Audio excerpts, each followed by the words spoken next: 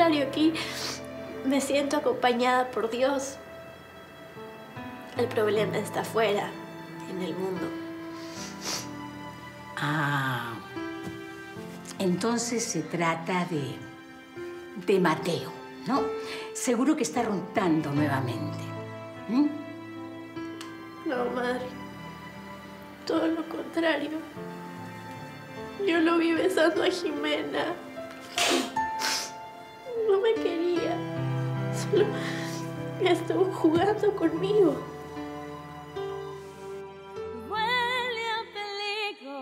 ¿Y eso? Sí, qué lindo canto. Debe ser un disco. No creo que ninguno de los participantes cante así aquí. No, no, no es un disco, Richie, es ella. Mira, estoy cantando. Ella es Yasmín. Ella es la ganadora de la temporada pasada. Solo paso y falso y nada que nos puede detener.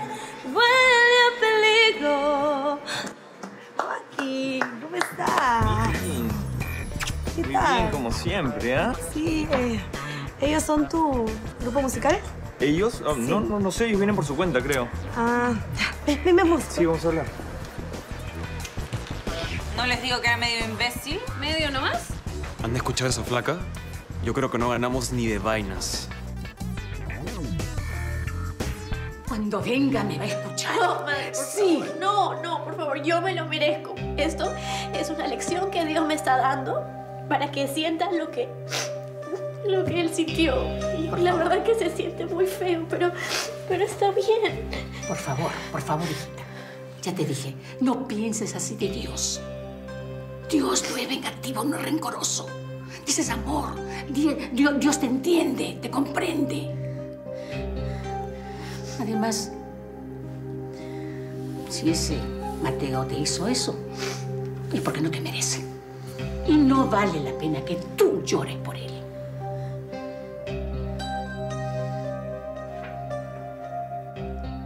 Madre, ¿Mm? ¿y si estoy haciendo todo mal en dejar a los chicos de cumbia pop? ¿Y si en vez de estar aquí encerrada voy y los ayudo de verdad? Señorita, usted nunca nos dijo que su grupo eran pandilleros internos en una correccional. Pero usted tampoco lo preguntó. Es imposible, ellos no pueden participar. Eso va en contra de todas las reglas del programa. ¿Reglas? ¿Qué reglas? Sí, es obvio, no pueden. No, esto no es obvio. Porque en ningún lugar dice que ellos no pueden participar. Miren, las reglas las pongo yo. Este es mi programa. Y si digo que están prohibidos, están prohibidos. Ok. Entonces haré una campaña en todas las redes sociales donde colocaré que en el programa de Voz y Fama discriminan a los chicos con talento. Todo esto es culpa tuya, ¿sabes? Por no investigar. Por favor, dame un momento. Voy a hablar con Quique. Sí, claro. Oye, y si no eres productor de ese grupito musical, entonces, ¿qué haces aquí? ¿Por qué tanto miseria? Es, es un tema un poco complicado. Bueno, resulta que estacioné mal, tuve un problema con un policía y el juez me sentenció a más de mil horas de trabajo comunitario en esta correccional llena de pandilleros. ¿Pandilleros? ¿Es en serio? No me esperes nunca más. Que no me espere tu ilusión, ni tu pasión, ni tu ternura. Oye, ¿y ese? No canta nada mal, ¿no? No, lo sé bien. Se llama Jonathan, creo. ¿Lo conoces? Preséntamelo, pues. Creo que podríamos hacer un gran dúo. Uy, pero no te lo recomiendo, ¿ah? Porque él es del grupo de los pandilleritos. ¿Me estás diciendo que los pandilleritos están aquí en concurso así como si nada? Espérate, ¿y si nos roban, nos secuestran o algo peor, nos matan? No, o sea, no los conozco tanto, pero no son peligrosos. Me parece que estás exagerando un poquito, tranquila. ¿Exagerando? Eso no me vas a decir cuando se te quedó tu celular o pasa algo peor. Pero ahorita mismo voy y hablo con el productor.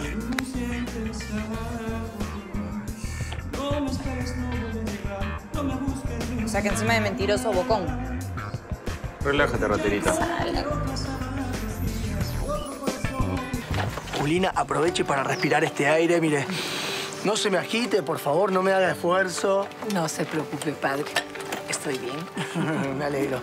Bueno, ¿y ahora a dónde vamos? ¿A lo de su sobrina? Sí, la casa de mi sobrina está a unas cuadras de acá. Bueno, ya llegamos. Ya llegamos, padre. ¿Le gusta la naturaleza? Me encanta. Mm. Respire, mire.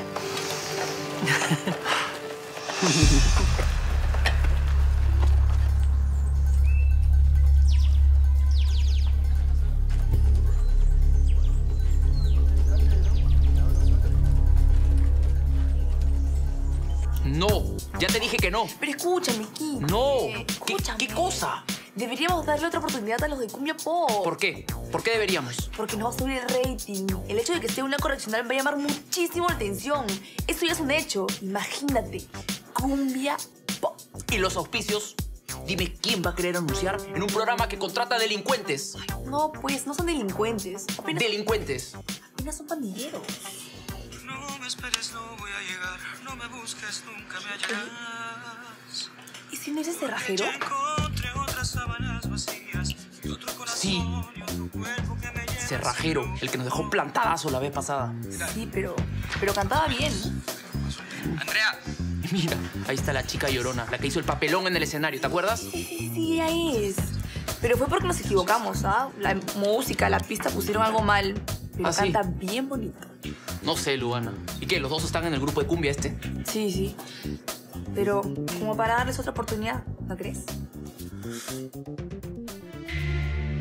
Bueno, ahora sí me tengo que ir. Mi bus sale en una hora. Papá, vas a regresar pronto, ¿no? Sí, claro, en unas semanas. Bueno, y si por algún motivo se prolonga el trabajo, de todas maneras te voy a ver. Pero por televisión.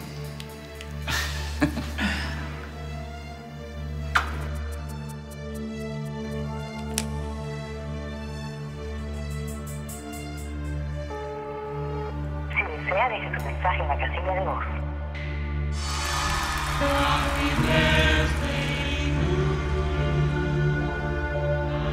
Esa no es la pista.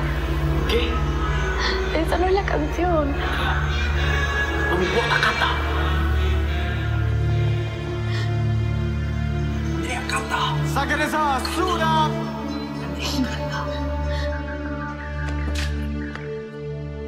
Andrea, ¿qué te pasa? Ya sabes, Richie.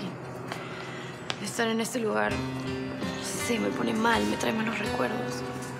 Todo lo que pasó ese día fue la última vez que supe algo de mi papá. Jonathan me plantó. Tuve que empezar a cantar sola y me pusieron otra pista. Hice el ridículo delante de todo el mundo. Pero esta vez todo va a ser distinto. De verdad, conmigo todo va a ser distinto. Lo prometo. Yo jamás te dejaría plantada, mucho menos te contaría una mentira. Hola, Andrea. Hola, Richie. ¿Te acuerdas de mí?